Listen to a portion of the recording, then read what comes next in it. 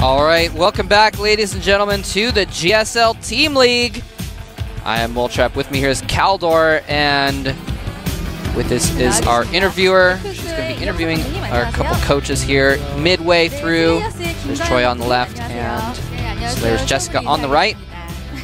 네. 아, 오늘 Yes. 어, Choya's probably pretty 오늘... disappointed. Well, not really disappointed, but a little bit sad about the, the first game as Lucky was not able to beat Puzzle. Jessica, on the other hand, she has every reason to be happy about it. Nice start into today's team match. 스타트에서는요 개인적인 리그가 All right, 더 so she's 선호하는 asking about how she feels being the 여성 first 감독자의 female coach in StarCraft 가는 건 2. 아니지만요. 이런 것들이 많이 더 활성화가 돼서 여성 게이머 선수들도 많이 나왔으면 좋겠고 또 더 많은 팀전이 어, 재미있게 이루어져서 어, 팀전이 좀 더 많이 uh, she says that the individual league is more popular these days, and she hopes the team league gets more popularity, and that more female players appear in the StarCraft 2 scene. 아, 네 그리고 감독님 1세트 오늘 아쉽게 패배하셨는데 아, 사실 큰. 걱정은 안 돼요. is, they could not 2세트에 really 김학수 선수가 나왔잖아요. 굉장히 uh, 위협적인데요.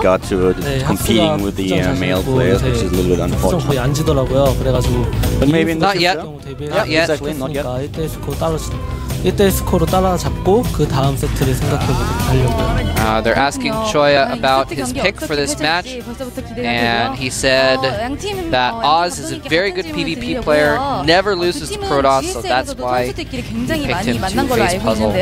오늘 경기를 통해서 개인적인 복수전을 노리는 선수도 있을 것 같아요. 어, 오늘 과연 어떤 선수들이 벼르고 있는지 각각 그 선수들이 누군지 궁금한데요. 저희 팀은 당연히 문성원 선수에게 많이 당했기 때문에 문성원 선수를 빨리 잡아보고 싶어요 한번.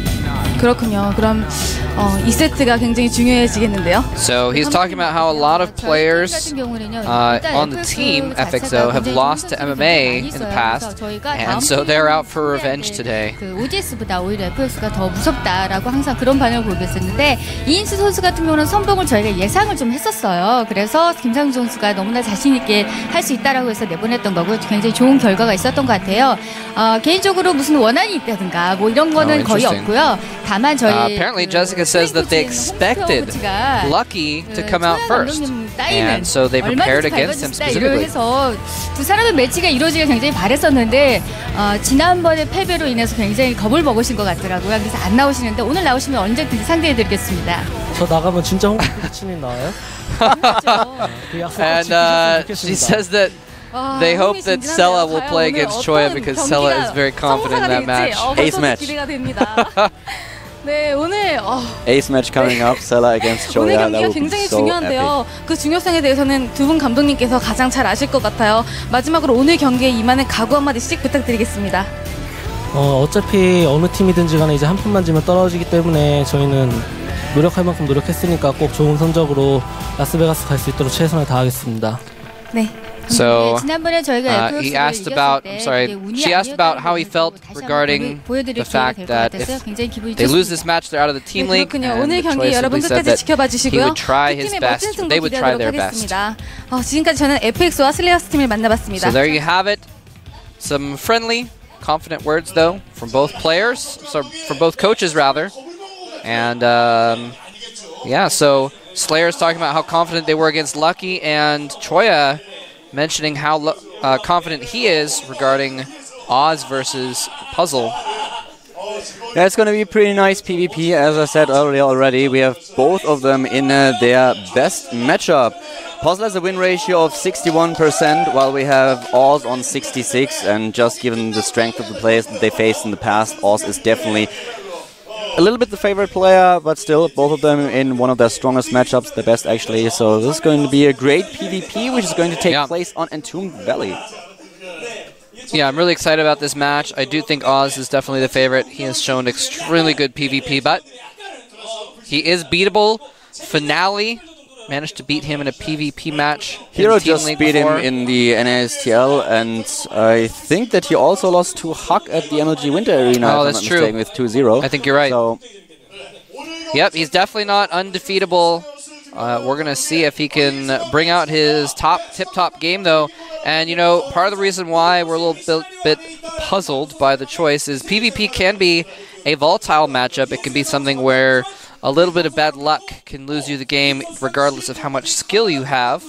So, uh, but you know, FXO, they're confident in Oz, and they're definitely going to have the advantage here, I think. It's going to be on a Tomb Valley, which is a pretty good map for not getting unlucky, I suppose. Here they are, Oz and Puzzle. We are heading into the second game of the day. Slayers against FX Open, and Entomb Valley will be the next map. And we have a PvP at our hands. Slayers is up with 1-0 after Puzzle defeated Lucky on Daybreak. And it looks as if Oz has not had much success on this map in the past, although I don't think he's played too many games on it. But uh, Puzzle's won at least two games on Entomb Valley in the past. We're going to get started, though. We're going to find out if the PvP Master of Oz can take out Puzzle, or will Puzzle take an early 2-0 lead. Find out right now.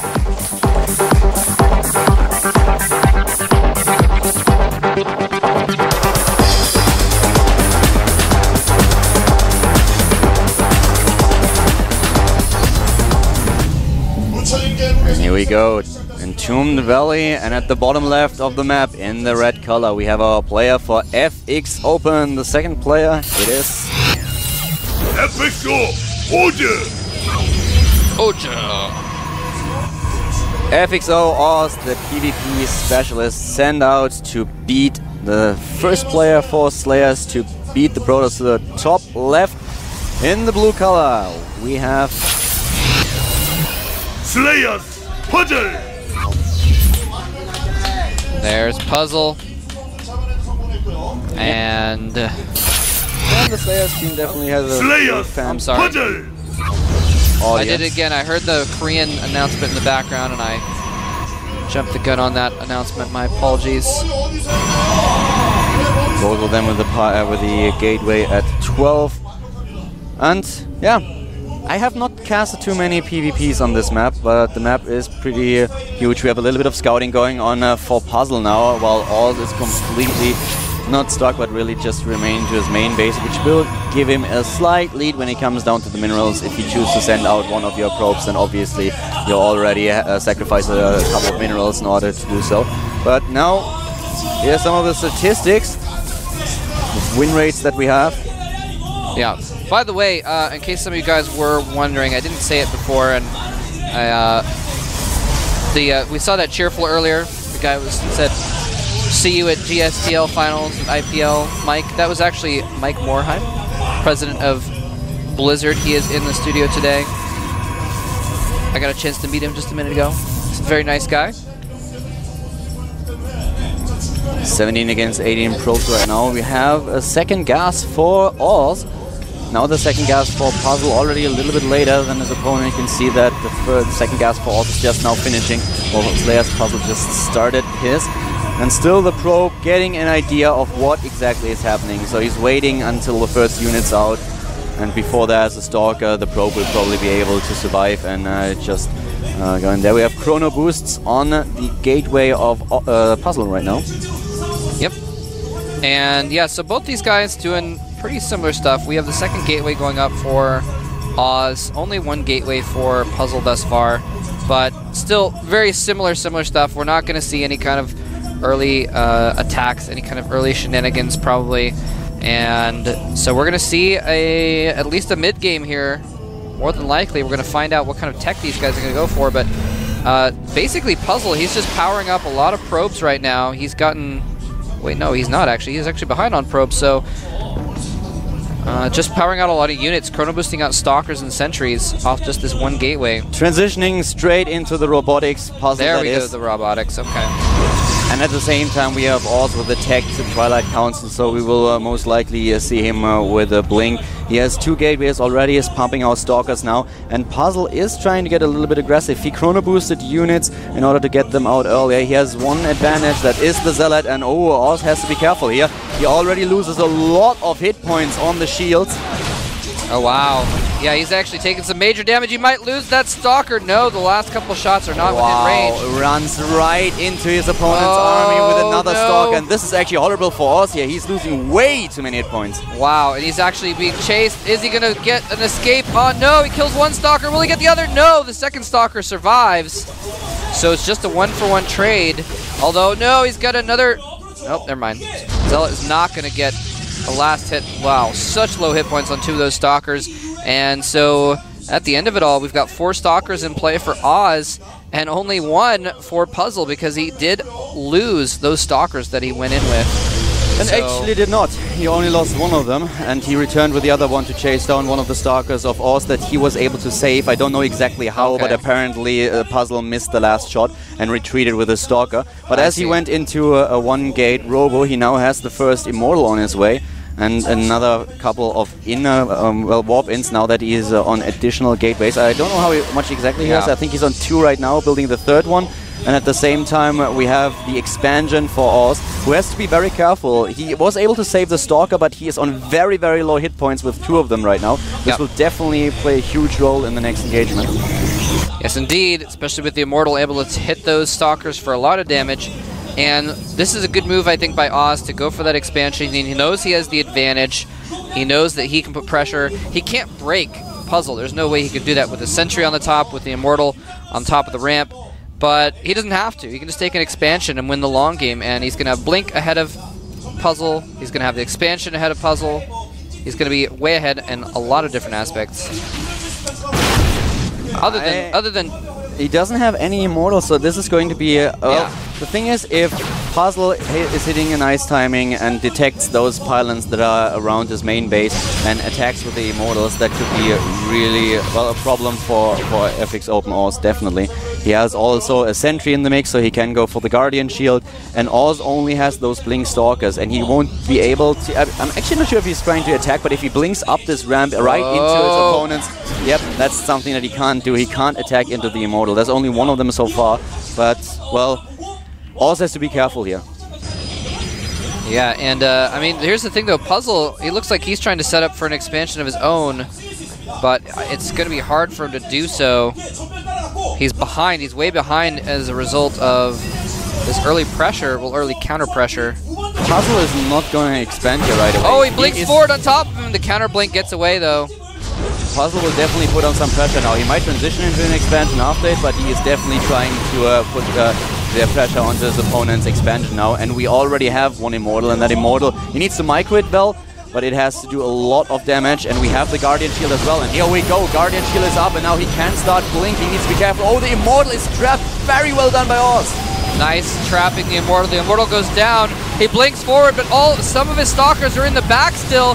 The Sentry not doing anything. Probes have been brought off the line, but Oz has a huge advantage here. And now he can blink forward and finish off the injured stalkers as they try to retreat. Wow. Oz just, uh, you know, it looked like for a second, GG! It looked for a second like Oz was going to be losing some early stalkers to the pressure of Puzzle, but then Oz made no mistakes and came back for a strong, strong win, despite a nice timing by Puzzle to hit when that expansion hadn't quite paid for itself yet. Oz still defended perfectly. Puzzle only had one single immortal in his mix. He went for the gateway, uh, for the one gateway into robotics, and uh, he only built one single immortal.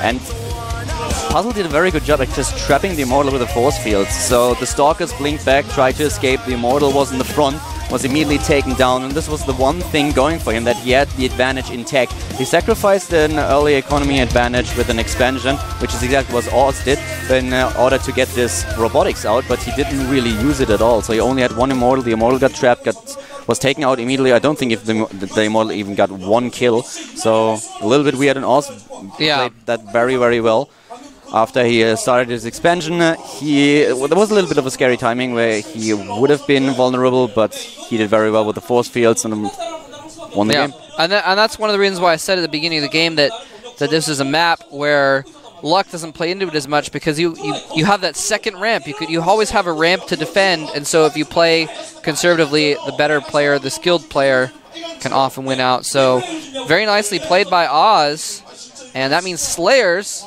He's going to have to pick someone to come out to combat him. That is actually the worst case scenario. That is definitely the worst case scenario right now because, um, uh, sorry, forget what I just said. All right. Just forget what I just said. All right, I will forget it. um, no, no, I mean it's um, it's kind of interesting. We uh, didn't expect Lucky to lose, and so it was. The tables have been turned though. Now it's Slayer's turn to send someone out, and we're gonna actually check on a replay of that match real quick. Here's the end of it, and we're gonna get to see how he's actually Oz has about the same amount of stalkers but he's got the high ground advantage. He's got these sentries, and look at that. Traps the Immortal. The rest of the Stalkers have blinked back to safety, but guess what? That means the Immortal was in danger. He blinks forward to try and save the Immortal, but he targets it down anyway. So, And then it just became a numbers game. And uh, the numbers were in favor of Oz. As you can see on the screen there, he's got a few more Stalkers right now at the, at the unit counting station, and that's all there was to it. I would have loved to see how the Stalker in the beginning actually got away. I don't think we've seen this on screen. We have a second monitor here, which we were kind of focusing on. But the second Stalker, I have no idea how the Stalker got away.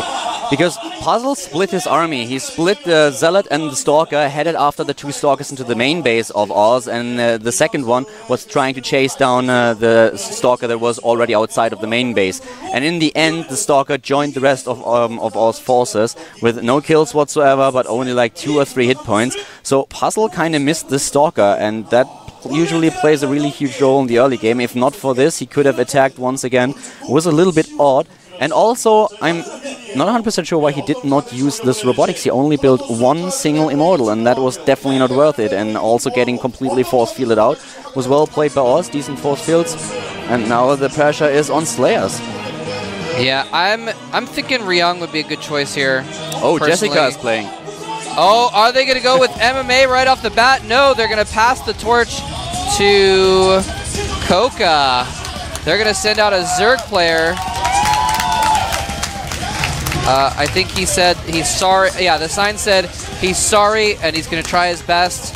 Um, that apology being for the fact that Coca was involved in a bit of a scandal and he actually got kicked out of the GSL because of um, some minor griefing that was, occurred. Beyond actually, I shouldn't say minor. I don't want to qualify it because people have different opinions on it, but he was kicked out and now he's back in, able to play again, and he's going to try and make the best of it. Beyond did the same when he appeared in uh, his matches recently in the GSL and was really nice and uh, very humble about it. So we have a ZVP on Antiga Shipyard. Yeah.